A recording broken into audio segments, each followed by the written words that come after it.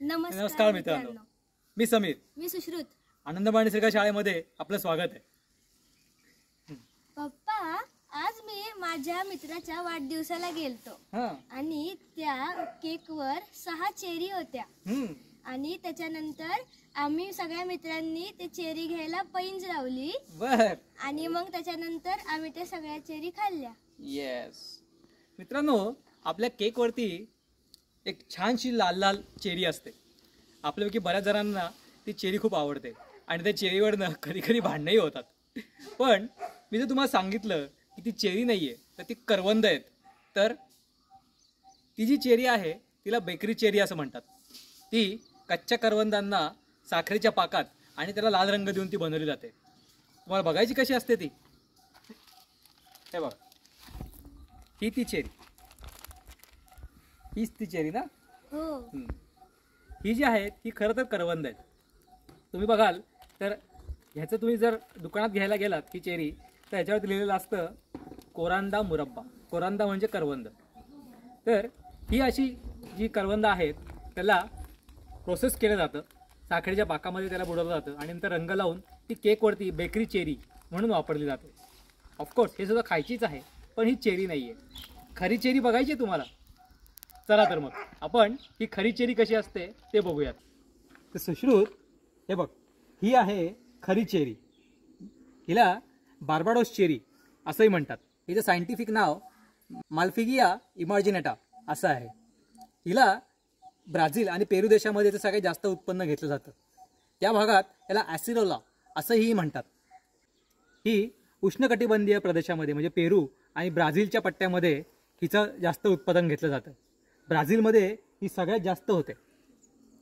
हे तुझं बघशील तर एक झुडूप असतं. आणि हे उष्ण याला उष्ण हवामान लागतं.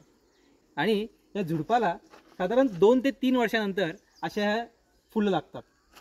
ही जर फुलं बघितलीस तर त्या फुलांना अशा पाच पाकळ्या असतात.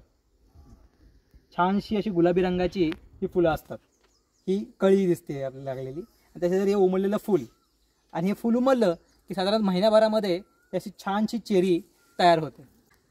ही चेरी आधी हिरवी असते आणि मग नंतर हळूहळू ह्या हिरव्या कलरपासून हा असा लाइट गुलाबी कलर मग नंतर हा थोडासा लाल कलर आणि नंतर हा एकदम तोंडात टाकावा असा वाटेल असा एकदम लाल चुटूक कलर असा हा चेरीचा जसं सांगितलं की हे एक झुडूप आहे आणि या झुडपाची जी मुळं असतात ती मु अशी भुसभुशीत जमिनीमध्ये उगवतात.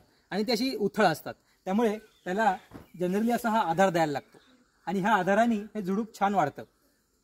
साधारण पावसाळा संपला की डिसेंबर जानेवारीमध्ये ह्याला फुलं लागायला चालू होतात. आणि आता मे मार्च एप्रिलपासून ह्याचा हा फ्रुटिंगचा सीझन सुरू होतो. आणि ही छान छान चेरी आपल्याला मिळत राहते.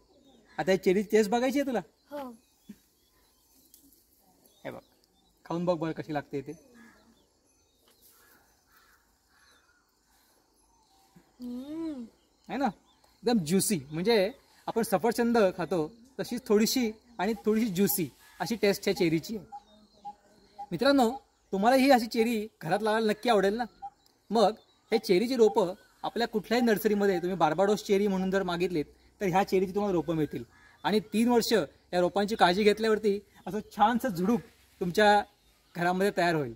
आणि तुम्ही हवी तेव्हा ही अशी छानशी चेरी खाऊ शकता. ही चेरी अतिशय ज्युसी असते. म्हणजे यामध्ये जवळ नव्वद टक्के पाण्याचा अंश असतो. त्याचबरोबर यामध्ये व्हिटॅमिन सी आणि मॅग्नेशियम हे भरपूर प्रमाणामध्ये असतं. तुम्ही जर बघितलं तर हे जी थोडीशी कमी पिकलेली चेरी आहे ही चेरी काढून फ्रीजमध्ये साठवतात. आणि याच्यामध्ये खूप जास्त प्रमाणामध्ये व्हिटॅमिन सी आपल्याला मिळतं. ही जी चेरी असते ही पिकल्यावरती अशी सॉफ्ट होते. आणि जर कातडं आहे कातडं असं फार पातळ असतं. हे बघ. कातडं काढलं की अजून हे असं पाणी निघायला चालू होतं. त्यामुळं ही चेरी फ्रीजच्या बाहेर साधारण दोन तीन दिवस टिकू शकते. तर मित्रांनो कसा वाटला तुम्हाला हा आजचा आपला चेरीचा व्हिडिओ?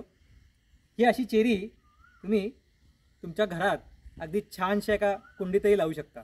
आणि त्याची दोन ते तीन वर्ष काळजी घेतल्यावर तुम्हाला ही मस्त चेरी अगदी फ्रेश अशी चाखायला मिळेल. मित्रांनो ही चेरी आपल्याकडे आली ती परदेशातून. म्हणजे केकवरती सजवायला आईस्क्रीमवरती लावायला अशी ही चेरी. पण ह्याच चेरीसारखी आपली स्थानिकही छान छान फळं आहेत बरं. ज्यांना आपण रानमेवा असं म्हणतो. गावातली मुलं सुट्टी लागली की छान हा रानमेवा तोडायला शेतात जातात. आपण ह्याच रानमेवाचा आता पुढील व्हिडिओ करणार आहोत. यामध्ये करवंद बोरं आवळे चिंचा मोहाची फुलं अशी खूप छान छान रानमेवा आपण या या व्हिडिओमध्ये बघणार आहोत. तर मग बघणार ना आमचा पुढचे व्हिडिओ. आपल्याला हा व्हिडिओ आवडला असेल तर आमच्या या व्हिडिओला लाईक करा आणि शेअर करा. तसंच आमच्या यूट्यूब चॅनलला सबस्क्राईब करा. धन्यवाद.